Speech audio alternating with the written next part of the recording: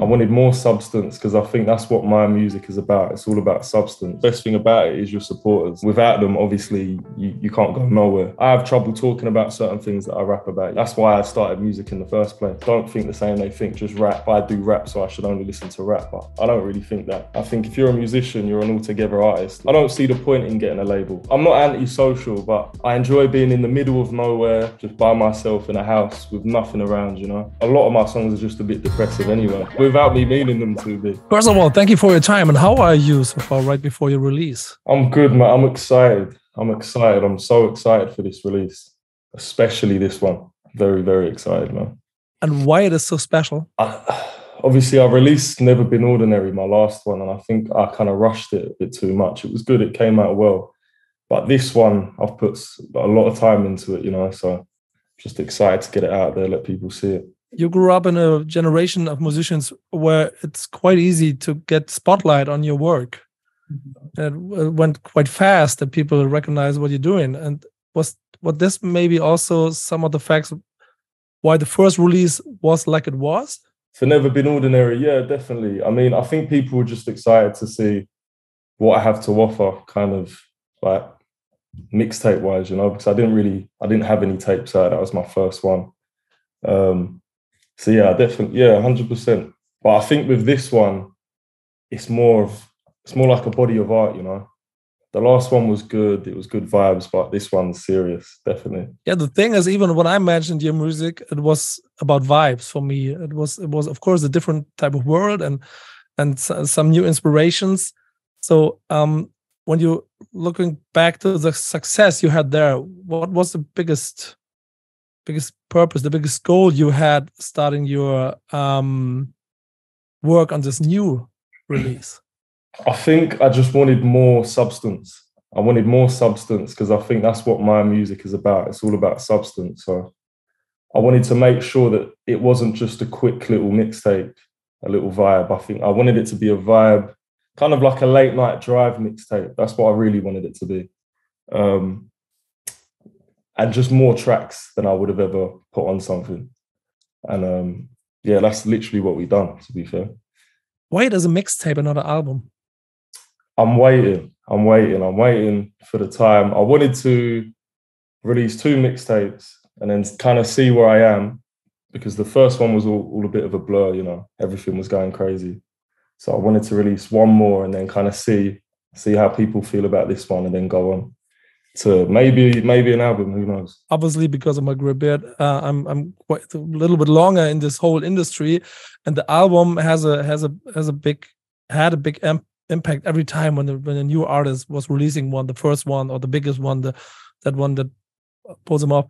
Um, I think nowadays it's different and and of course you also mentioned that singles can make a career or make starting a career why are you still thinking about an album it's mad really i think i think nowadays it's just i think it's just all over the place i think back back in the day it kind of was like you get your albums you get your record deal the more yeah. tracks you have the better right so i think now it is kind of that thing where it's like you can release a song without even being a serious musician and you could just fly straight up. So yeah, I, I, don't think there's any wrongs and rights towards like what to release nowadays, but I think that's a good thing.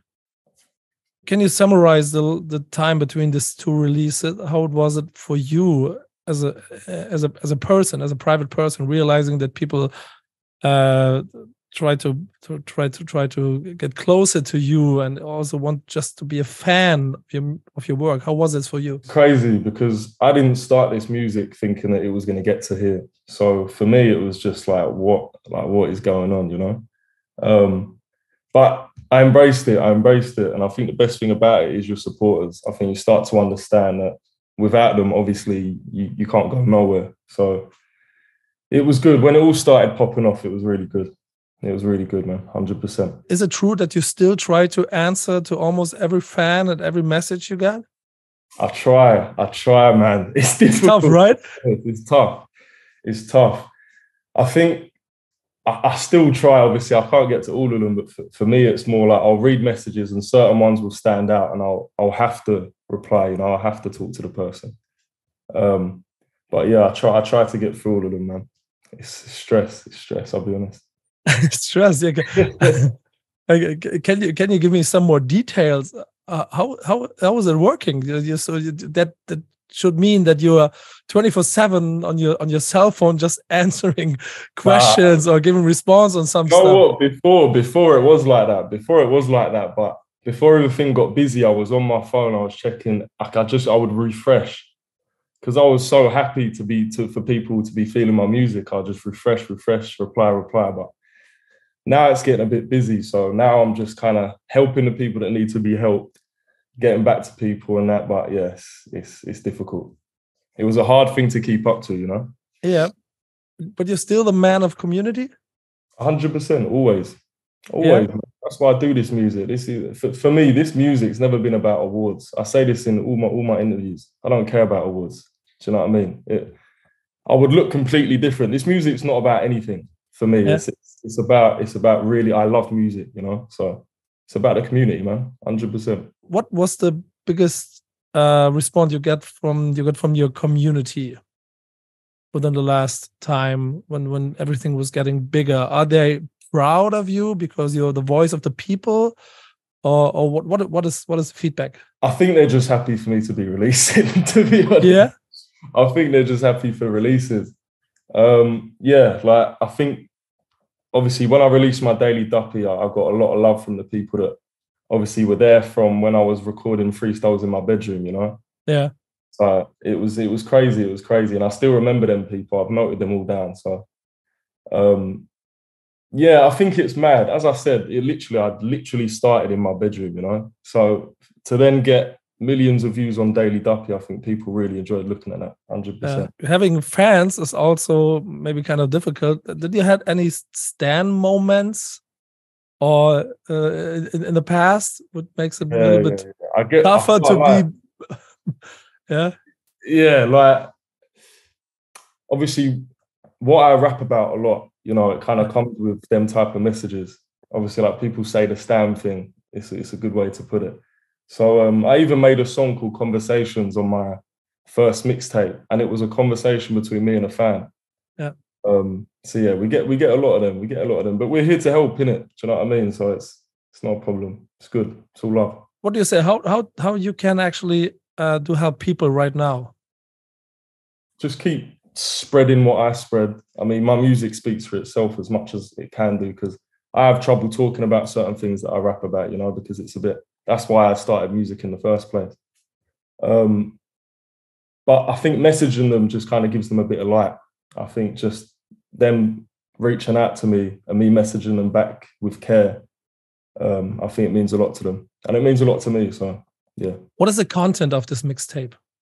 Still stories from the past and doing re- retrospectives on, on yeah, yeah, retrospective. It's always retrospective.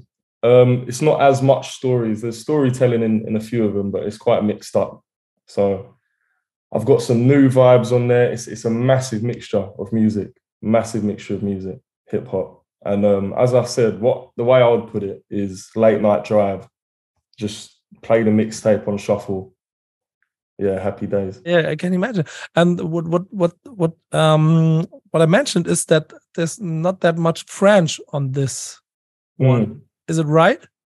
Yeah, people. The, do you know what it is, bro? Like people, people, people get so funny with the French thing because they think that I have to put it on all my songs. But yeah, of course you have. You, you're French the kid. It's in your course. name, obviously. Just kidding, of but you know what I mean. Of course, of course, and I do. I put them on songs, but at the same time, French the kid comes from my nickname, which is French. It isn't. Yeah. I speak French the kid. Do you know what I mean? French the kid. That's my name. Um, and then also it's a natural thing. Like on certain beats, if if it comes to me, it comes to me. It's all in the brain. So I, I might think in French on a certain beat, on a chorus, but then I might not. I might think the whole bars in English. Like, it all depends. It's something natural. I don't I don't try and force it. So that's probably why. Looking from Germany to UK or France, it's even quite interesting even to see what's what's happening there and also how how how artists in Germany try to be inspired of what people doing there, rappers doing there. Um, and from my perspective, it was like, okay, this is this is one guy who's who mixed it up nature naturally. Yeah. Um, let's let's talk about this topic. But first of all, what is your what is your what is your uh, when, when you have an eye on on French mar music market and UK market, do you see any differences that are very important? Differences what between them? Yeah, between them, Um, between the scenes, between between everything. yeah. I think they're just two. They're two very different cult. I mean, they're not two different cultures. I'm, That's a I- fact, right? Yeah, they they they're similar. Like obviously they're right next to each other, France and England, and I think Europe in general. We all kind of it all kind of is the same culture. I just think. I think we mix it in different ways. It's it's as if we mix the same culture but in different ways. I think if you get what I'm saying, it's weird. Yeah, um, yeah, the music in France, and the thing is with European music is everyone bounces off each other. So it, the trend might be the UK now, and everyone's locking onto that. But say the trend is Germany in two years, then everyone will be doing that, but putting their own twist to it. Um, that's how I see it, and I think it's really good. I think it's brilliant. To be fair, what's inspiring you for your music? uh, as in altogether, or just like a, an artist, or yeah as an artist as an artist and because of it the my thing is because of this mix of living living in france living in uk having having a brighter mindset on music on Yeah, on, well- on, on cultural impact I think I just music inspires me. Like I just I just love music. I I can't say any different. I love music. I've been around music my whole life.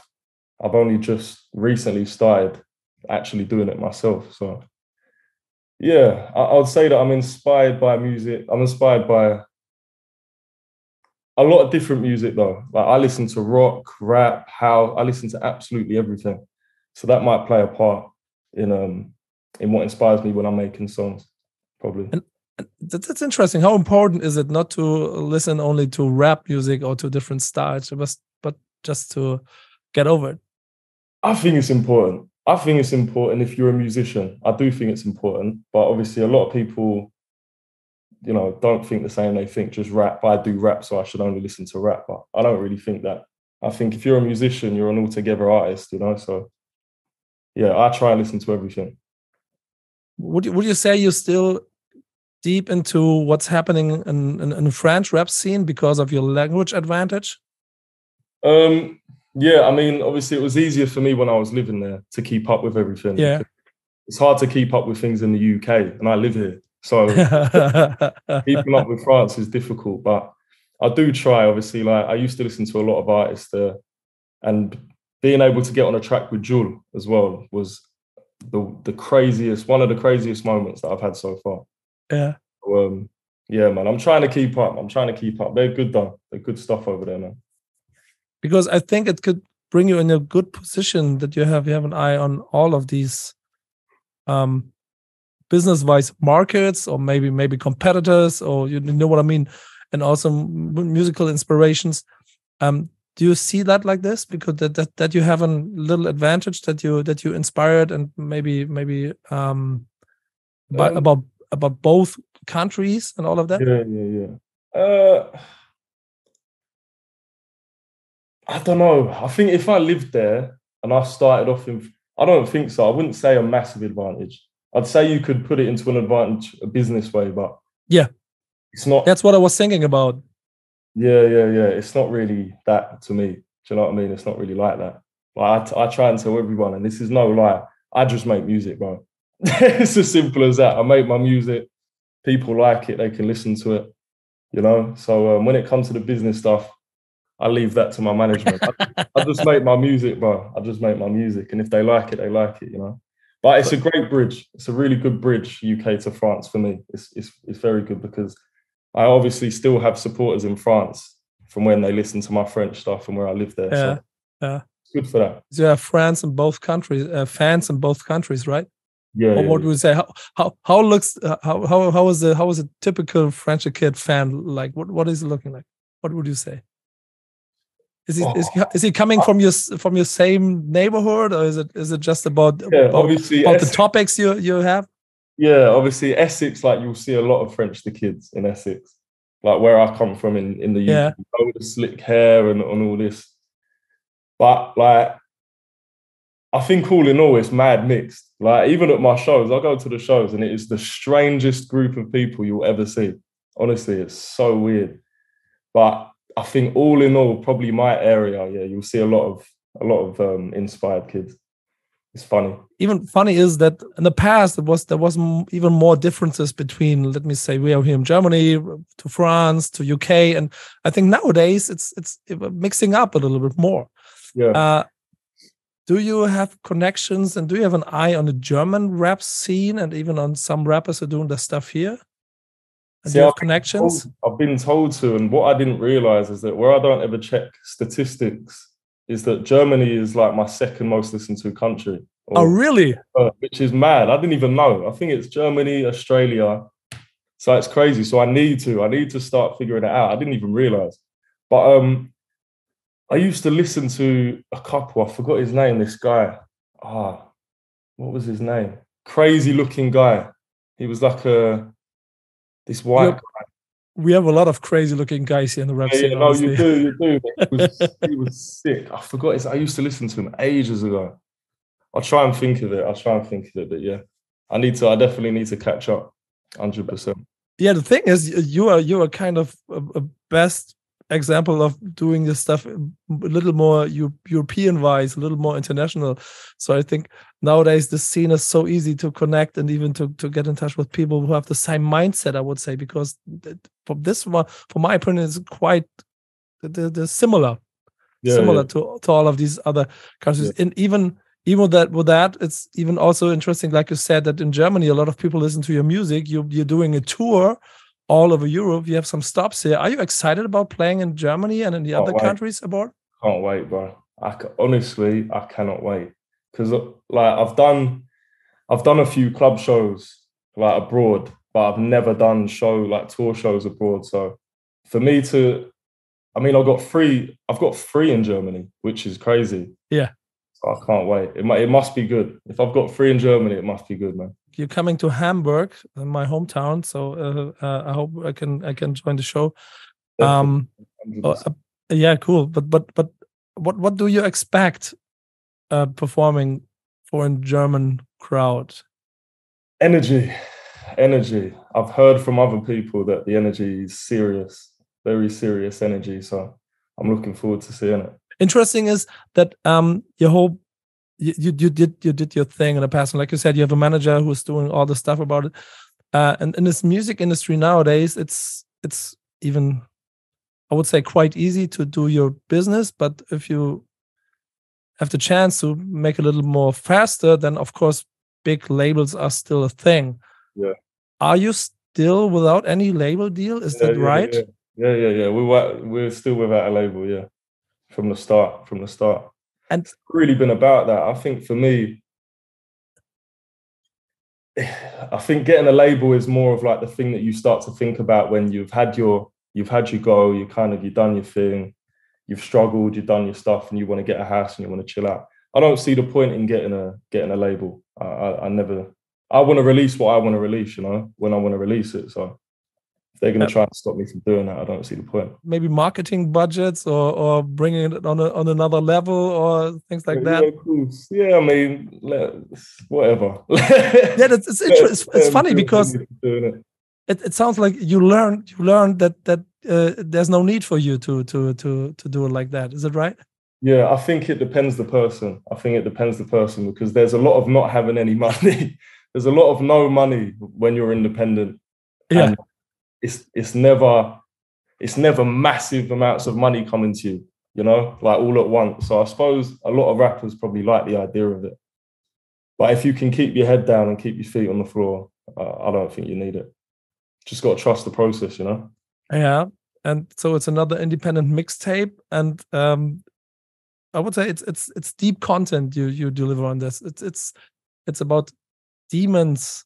Uh, it's about it's about uh, even even lyrics that that go to to to the heart. Yeah. if you if you if you relate it to this um ca- can you describe why you're doing this Wh- what what is the reason why you're fighting demons on your lyrics oh, why I rap about it Yeah. because I can't talk about it. It's as simple as that. Yeah, really? I have, yeah, honestly, I have trouble. I don't like.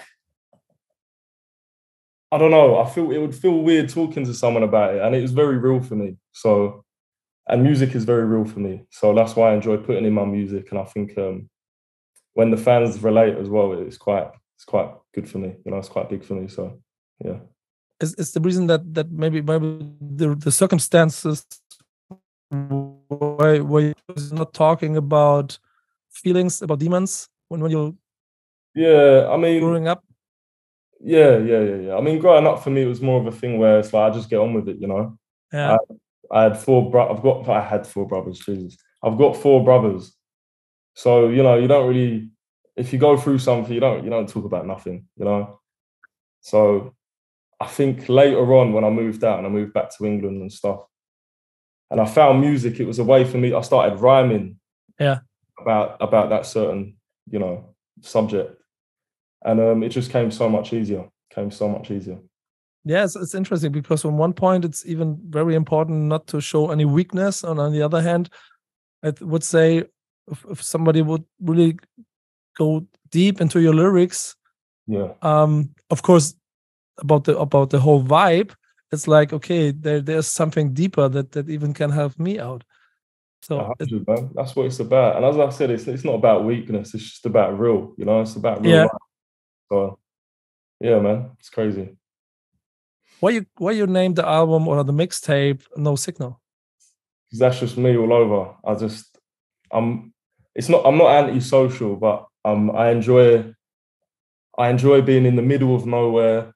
You know, just out and about, just by myself in a house with nothing around. You know, that's that's what I love. So for me, no signal just just came like that, and I think it kind of suits the vibe of the of the name. And what is the sound of No Signal? How would you describe it? I think you were spot on. I would say retrospective, hundred percent. I'd say retrospective. I would like, I would say emotional, but if people have listened to me before, they understand it. It's just kind of a vibe thing for me. Um, because I, I put it emotional, but at the same time, it might be emotional. It might have a bounce. You know, it might be different. So, retros- retrospective and diverse. I'd probably say.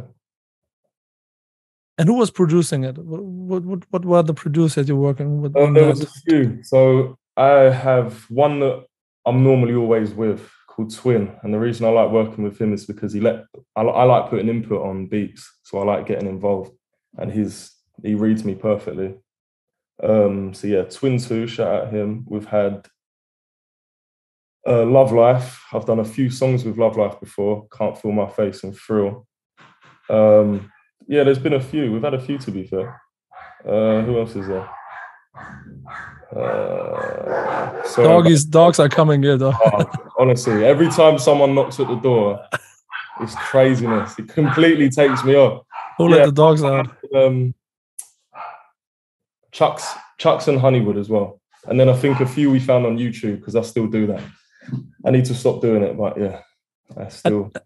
And, and, how would you describe this part uh, of work on that mixtape? How easy was it to find the sound, the the, the beats for this? Yeah, it was smooth, man. I mean, I, I get in the studio and I kind of, I work it all off one melody. So the first thing I ever do on a song is we sort out the melody. As soon as we know like the key melody, I kind of know already where we're going with it. Um, so it's, it's smooth. It's definitely smooth. I think the whole tape was smooth, and we kind of ran it so so smoothly that I think that's why it runs nicely all together. And are you in, in, involved in producing beats, or is it just uh, producer giving you a, the, the, the end the end product, or are you still No, no, doing garage band beats or whatever? I used to. Garage Band was where I started. yeah, really. Yeah, on my phone, man. It's funny, but um. But but not nowadays. Still. Ah, Jesus Christ! No, not nowadays. It would come out sounding a bit strange. I think. I don't. Think. but it could it could be also a statement for some Yeah, it reason. could You know be what a I mean? massive statement. Yeah, it could Yeah. be a massive statement. That's funny. But um, with producers, yeah, I'm heavily input, heavily, heavy, heavy input on on the beats while they're being made. Hundred percent, because I need it to sound like me. It needs to be different, you know. Yeah, I, I think it's very important, honestly, and that's even why the whole vibe is is it is it a little bit depressive the vibe? Yeah i think i think some of them are a bit depressive. I think a lot of my songs are just a bit depressive anyway without without me meaning them to be. It's just it's just how i write. Um but i think yeah the sound could be a bit depressive. But i like i, I like it. I think it's quite you know I, I think it runs quite nicely and it is real. It's as real real to the core as it can be. So yeah man talking about features how was it for this mixtape? So with this mixtape with features I, I tell this to everyone like it's not it's not a thing where i don't get in with people because i get in with a lot of people. You know i love i love getting in with people i love hearing their sound but i was so locked into this mixtape i was just in the studio doing it that I, honestly it didn't even cross my mind didn't even cross my mind so they're gonna have to wait and see. But um, yeah, it was. Yeah, they're gonna have to wait and see. They're gonna have to wait and see. But it kind of runs without it, you know. And it wasn't. It wasn't on purpose, but it's just. Yeah, I don't know really how to explain it. But do you have still dreams of big, big name features on on on uh, on your career? The yeah, I think like it, I think it goes back to who I listen to. Like, if we're talking about dream features, then I'm featuring Jimi Hendrix, you know, which, oh. we, which we can't do. It'd be tough, right? Yeah, it'd be pretty tough. So I think dream features, I don't know, unless he's 50 Cent. Um, yeah, it's it's one of them. It's one of them. But it's never been it's never been where I don't want to work with people. And I don't want people to get that twisted because I do work with people. It's just um it's just music to me. You know, it just it's just music to me, man. I just release what I've done. I get in there and I release my music, and it's as simple as that. What would you say? You you you made it. You you you you're on the level where you where you dreamed of. Yeah, I mean, yeah. If I, I don't have the goals of of awards and stuff like that, so I think my goal was, and I always say, I don't think I'll truly know the purpose until I've finished. You know? Yeah. So um, it's a weird one. I'm very happy where I am. I can provide for everyone around me.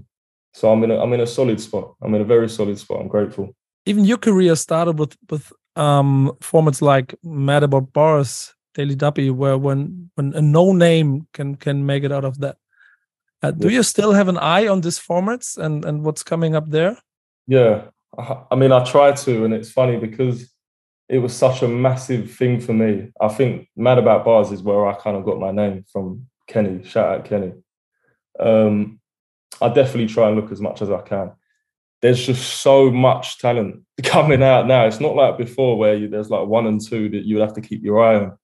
Especially like in the UK, there's hundreds of people that are trying to that have got talent that are trying to come through these um these freestyle platforms. So yeah, and, you'll get the times, you know. And do you feel like a role model? People coming to you and asking how you made it? Yeah, yeah. I mean, I, role model is weird. It's still weird to me. It's still weird to me, but yeah, kind of. I think with the freestyle platforms, yeah, I think I had a lot of success on the freestyle platforms, hundred percent. So I think people, I've had people ask me like, what I should do. Should I do this vibe? I'm going on there, you know. So yeah, man, in in some sort of way the thing is you you made it out of the underground with with these formats. You, you skipped this. So so now you know you every, everybody knows you because you're on a huge playlist and everything is cool. But yeah. do, do, do, you have, do you have um maybe maybe thoughts of helping people out? Coming on the same way not even on a label not signing artists but if somebody asks you for help Oh yeah, always. I do that anyway. That, that yeah. goes without that goes without saying. Yeah, if artists reach out to me and, and, and are showing love and are asking, I'll always give them um give them help information, you know, and I'd ex- I'd expect it back, you know, because everyone's different. So, how important these formats are for you nowadays? What would you say? What the freestyle platforms? The freestyle platforms. I think they've in in this day and age, I think they're very yeah. important.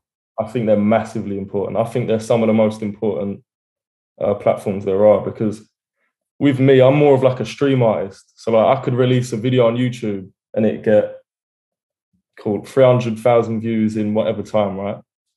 But I could then do something like a plugged in and you get millions of views. Yeah. You know? So these platforms are very serious. I think they should be taken seriously. And if people get the chance to jump on them, to make sure that they absolutely go crazy on it because it's a massive opportunity. What about the format Fire in the Booth? You weren't into it, right? Yeah, I haven't jumped on that to be fair. I haven't jumped on that to be fair. No, I think it's it was where for us where we got. I I have a um. I have a good relationship with Kenny, you know, with Mad About Bars, with Mixtape Madness. So that's kind of how that came about.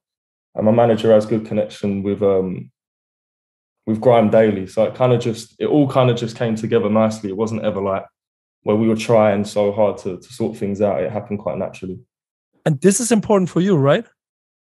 Yeah. Not not to making plans, not not not not making it look like like a strategy, but just making music or just making music, man. Just we we're surfing. We're just surfing on a wave that's just wherever it goes, we follow. You know, as long as it makes sense, obviously. Yeah, of course. But have you ever uh, canceled some some things? Uh, your manager one of these platforms. Yeah, whatever. Even even even uh, even other uh, industry business wide things that were on your table, and your manager said yes, and you said nope. Yeah. Uh, I don't know what I can or can't say, but I'm going to say it anyway because I don't care about. Um? Do you know what? Yeah, yeah, yeah. This is all your fault. We had yeah. a. Um, we're supposed to go uh, Mobos, uh-huh. but I think, but we didn't end up going. Uh, that was one of them. He was like, "Oh, we should go." I said, "No." It's not. It, it's just one of them things. I'm, I'm just not too bothered, you know. I'm not too bothered about all these big ceremonies and stuff. So there was that, and also the funny story about the Mad About Bars. I actually wasn't originally supposed to get that. Kenny gave me a um, a 1Xtra freestyle on his radio station. Yeah. But I done the I did the same freestyle that I did on Mad About Bars on that, and it was just too explicit. So it has to be um it has to be muted. All the bad words has to be muted. And there was about 30 seconds of just nothing because all the words were muted. so he said there's no point releasing it. You might as well jump on Mad About Bars.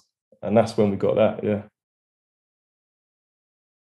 With this mixtape, I think you you you put another mark on your career. I'm sure people will loving it. Um, I was happy about it, and honestly, like you said, when people from Germany is the second biggest market for you, I'm sure some of my Spotify streams were also in this because when I when I started listening to your music, I was really inspired, and maybe it's a vibe, like you said, that's what I really like.